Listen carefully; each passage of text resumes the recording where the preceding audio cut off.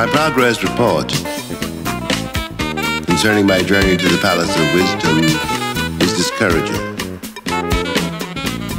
I lack certain indispensable aptitudes. Furthermore, it appears that I packed the wrong things.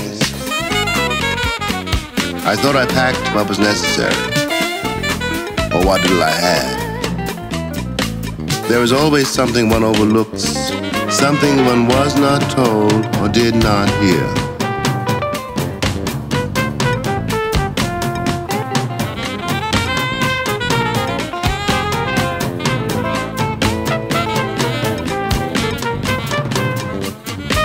Furthermore, some time ago, I seem to have made an error in judgment.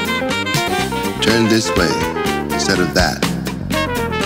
Now I cannot radio my position.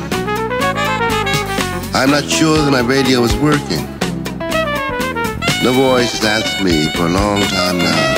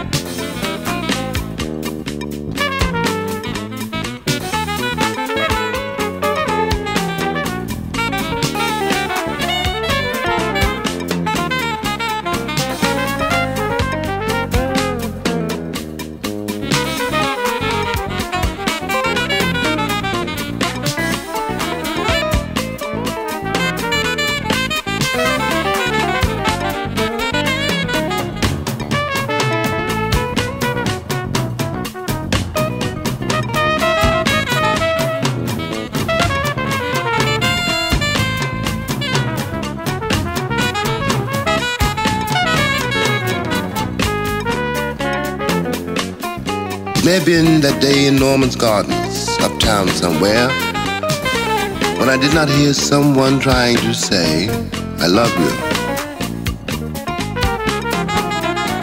I pack for the journey in great haste. I've never had any time to spare. I left behind me all that I could not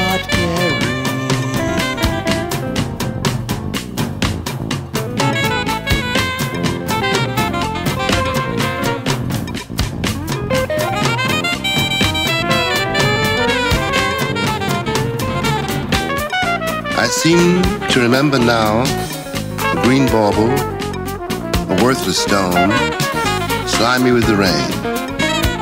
My mother said that I should take it with me, but I left it behind. The world is full of green stones, I said. Funny that I should think of it now. I never saw another one like it. Now that I think of it.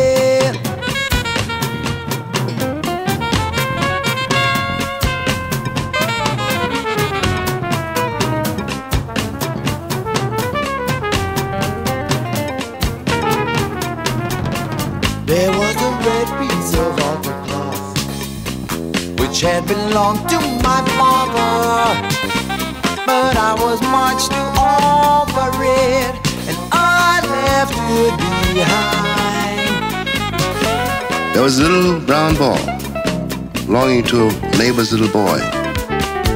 I still remember his face, brown like the ball, and shining like the sun. The day he threw it to me, and I caught it, and turned my back, and dropped it, and left it behind.